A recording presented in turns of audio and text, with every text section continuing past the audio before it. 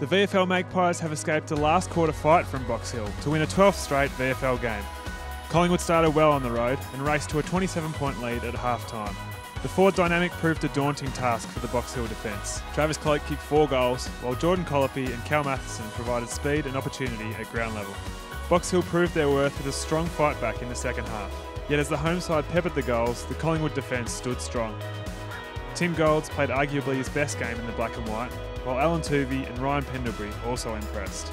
A 12 point margin was as close as Box Hill got before the Magpies ran out 21 point winners.